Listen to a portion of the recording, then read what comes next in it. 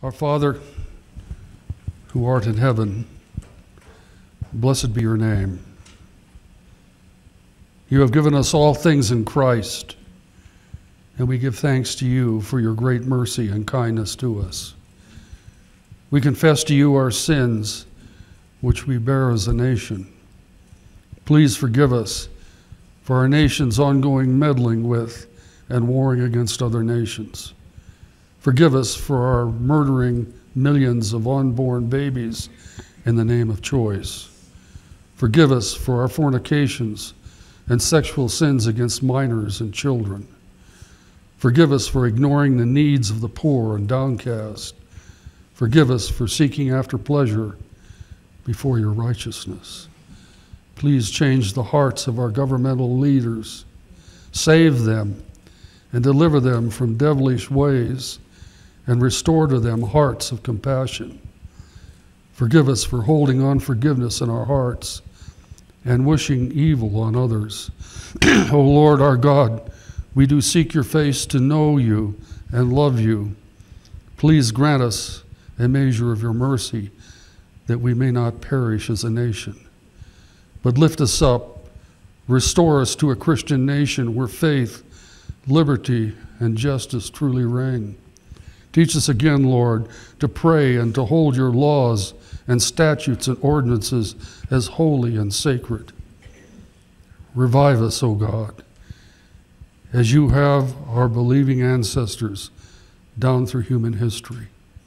We praise you and we thank you, even as we pray this prayer, that your will be done and your kingdom will come on earth as in heaven. Amen.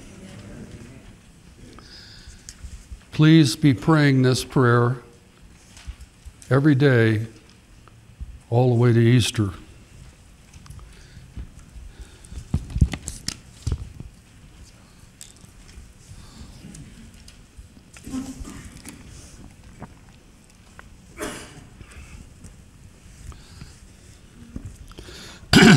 We've been sharing about revival and especially since it's Lent, because this is a time for us to be revived ourselves as we approach Easter.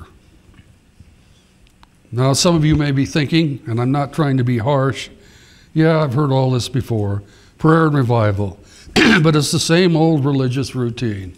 I hope not. You have this image in your mind of a circus tent and a sawdust floor and some evangelist preaching his heart out and making you feel very uncomfortable. Yeah? That's a picture of the old style evangelism, the old style revival. But when you add the fire of God to these meetings, things change as a transformation. And with the fire, the tent revival takes on a life of its own beyond mere human understanding. So the Bible is full of God's fire, and so is Christian history. And I've pointed it out, forgive me for repeating it, but we need to remember that God has worked in our nation before many times in a powerful way. He worked through Charles Finney in the early 19th century to bring about a great revival. Hundreds of thousands of people were saved. And there was D.L. Moody whose revivals in the late part of this century after the Civil War brought about great revival among God's people. And there was a great Welsh revival where almost the whole nation of Wales was saved in this revival. And then there was the Azusa Street revival, which was dear to Margaret and I because we grew up in Los Angeles. And this revival keyed on the fire of God and the transformation of people and the coming of the Holy Spirit. And then Billy Graham began his revival ministry in 1949 after World War II, and people were shook up. And we were looking at this conflict with the Korean situation. And Billy Graham began to preach, and he had crusade after crusade, and the 1950s were filled with revival. And then there was the charismatic revival of the late 1960s and 1970s. And these revivals all came about in a time of unrest when people were searching for God and they prayed, and God sent his revival fire. Hallelujah. The mood is captured in God's word to his people Israel.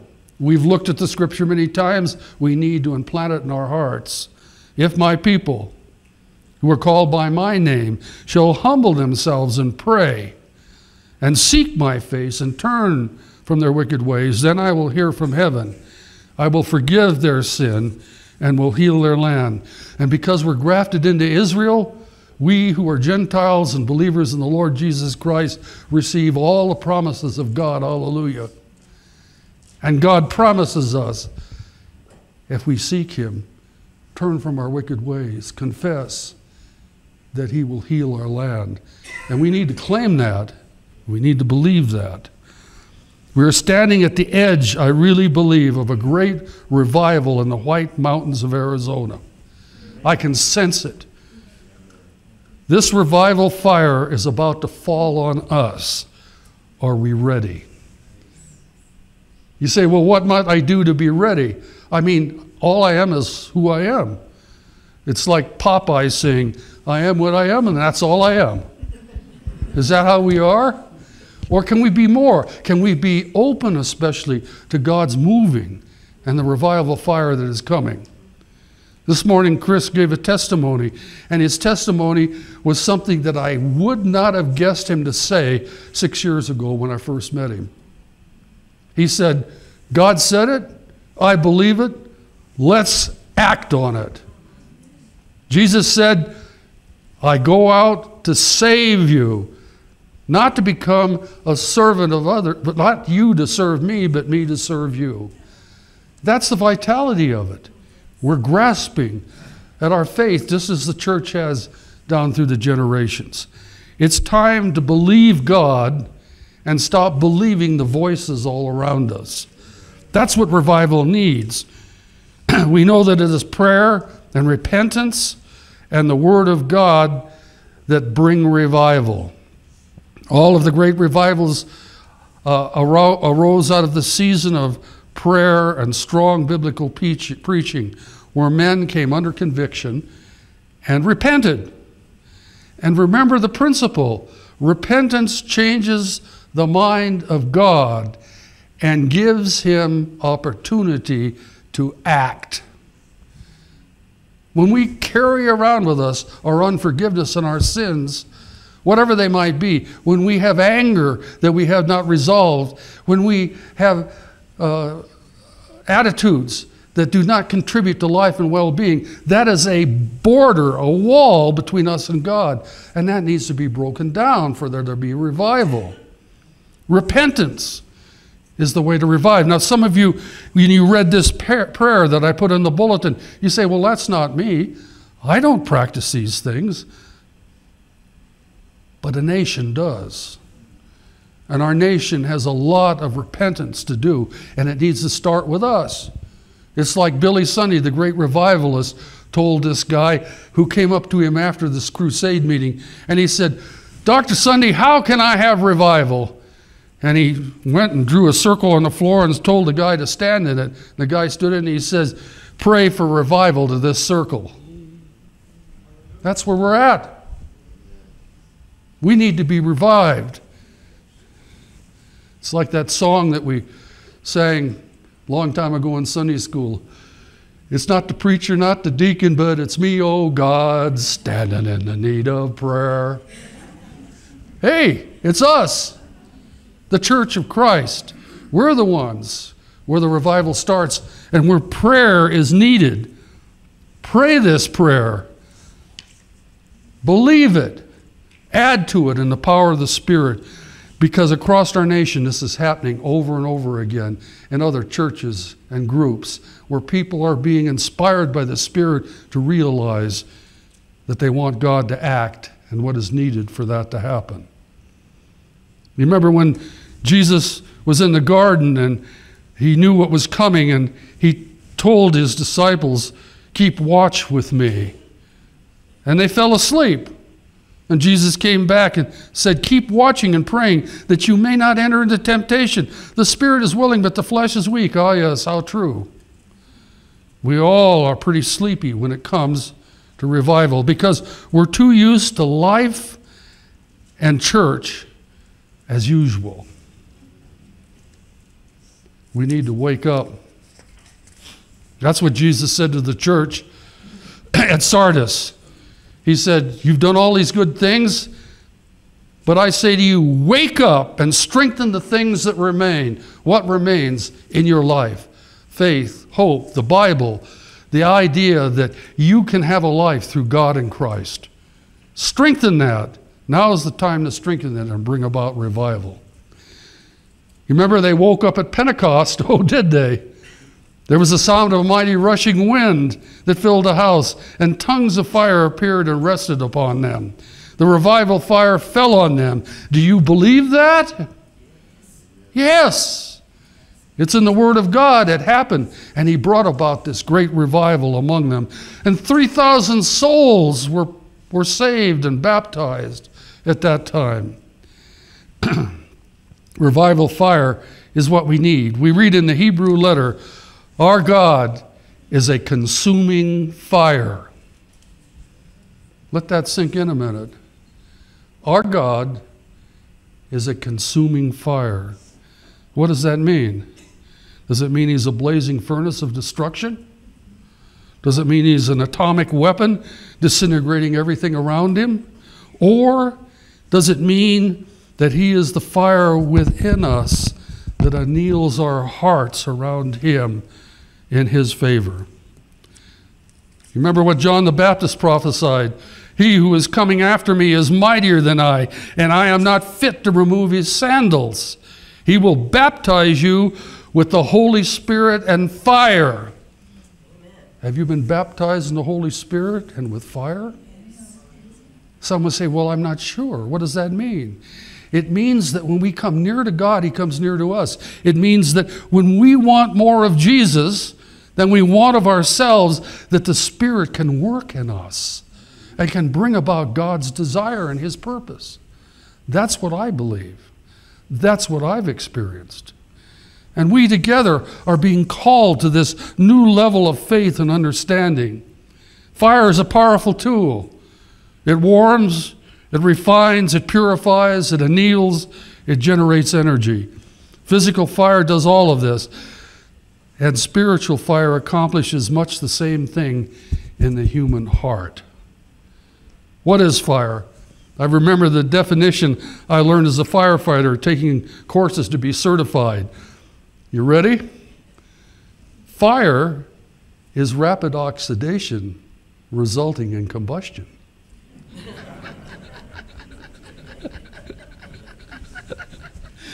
it's a good answer to put on a test, which we had. But when you sit around a campfire and you look at it, you're not saying, that's rapid oxidation resulting in combustion. There's something about the flickering fire that sets within us a feeling of warmth, a feeling of presence, a, a mystery in itself. That's the power of the fire of God that comes down from heaven. Spiritual fire is the burning of the heart, resulting in a longing for God. Do you remember Jesus appearing to the two on the road to Emmaus? The text says their eyes were prevented from recognizing him. Luke 24 16. They related what they had heard about Jesus' resurrection, and they were wondering. Doubt was creeping in. And Jesus said to them, O foolish men, and slow of heart to believe in all that the prophets have spoken. And Jesus taught them. And then he vanished from their sight. and here's what they said Were not our hearts burning within us while he was speaking to us? O Lord God, teach us, your people, to be renewed in your spirit and to be alive again in what you desire. There's Moses tending his father in law's sheep in the Midian wilderness and he sees a burning bush. He turns aside to see this strange thing. God called to him from the midst of the bush and said, Moses, Moses. And Moses said, Here am I. And out of the spiritual fire of God's visible presence, Moses was inspired and called. And Moses, who had spent years in the land of Midian, just coasting, doing nothing for the Lord, much like us, turned into a prophet and led the people Israel out of captivity. Out of the holy fire, Moses became who God intended him to be. And out of the holy fire, you and I can become who God intends us to be. Do we define ourselves by what our occupation is? Many of us do. Do we define ourselves about what our social set is? Many of us do. Do we define ourselves about political parties or what church we go to? Many of us do. But we need to define ourselves about God's definition. He said to us, You are Christians, and you believe in my Son.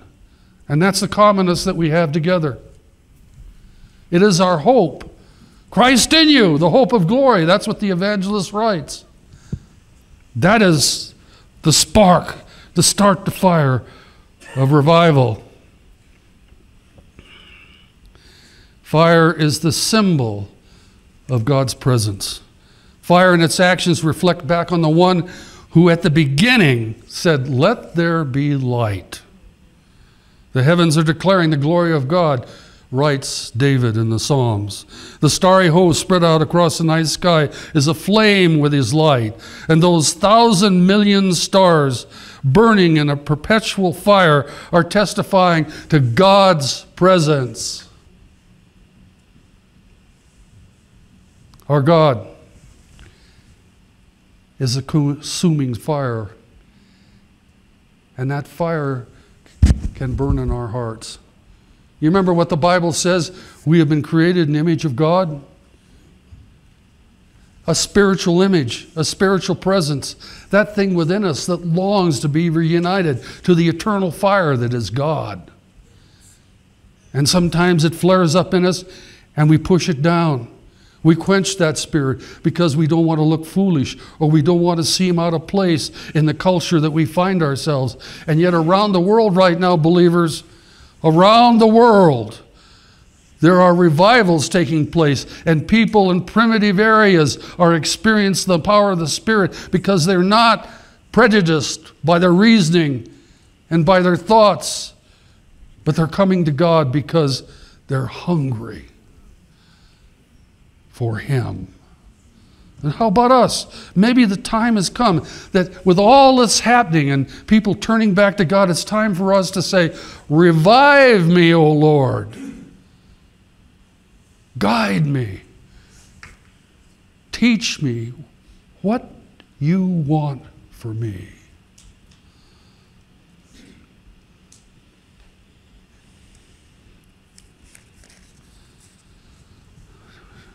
Jesus said, I am the light of the world. He who follows me shall not walk in darkness, but shall have the light of life. Lisa gave a testimony this morning. She was walking in some darkness. It was kind of a troubling time for her.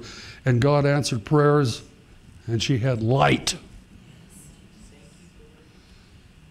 Don't you realize that the power of God and, and light and fire is so prevalent? We can, we can be in a dark forest on a dark night, and somebody a mile away can strike a match, and it stands out brilliantly. That's the power of light. That's the power of the Word. That's the power of God because my Bible says God is light.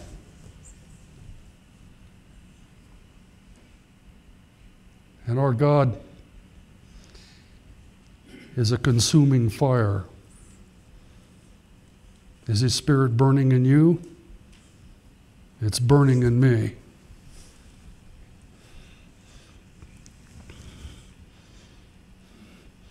And so the church has sung from the 19th century the lyrics penned by the Scottish doctor in 1863 Revive us again. Fill each heart with thy love. May each soul be rekindled with fire from above. Hallelujah. Thine the glory. Hallelujah. Amen. Hallelujah. Thine the glory. revive us again. Dr. Mackay had a godly and believing mother, but he soon turned away from Christ and the church as a young man. He says of himself, The older I grew, the more wicked I became. And finally, while he treated a seriously injured laborer and saw the man's faith, the doctor was convicted, and his mother's prayers were answered, and he came to saving faith in the Lord. Glory to God. The doctor came to saving faith in the Lord, and he wrote that hymn Revive us again. Revive us again. Bring your spirit upon us, Lord. Cause us to stand up and to speak out and to praise you and to bring your spirit to our community and our families and everybody around us.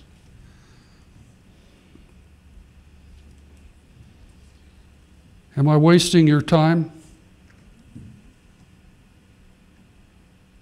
Have you settled yourself into a comfort zone of religious meekness? Or is the word preached in the season of unrest that hovers around us causing you to wake up and strengthen the things that remain? I pray the revival fire of God to descend upon us and every believing community on this mountain. I pray that we will humble ourselves and pray and seek the face of God and turn back to Him. Hallelujah, thine the glory. Hallelujah, amen. Hallelujah, thine the glory. Revive us again. Our Father in heaven, what can we say to you, for you know all things? What can we do for you, for you have done all for us? Lord God, how can we serve you better? Oh Lord, we pray your Spirit to anoint us for a new understanding, to refire in us the faith that you gave to our fathers. That, dear Lord, we may not be troubled by the day or consumed by the day and its voices, but that we would be inspired to be on fire for you. And we thank you for this. In Jesus' name, amen.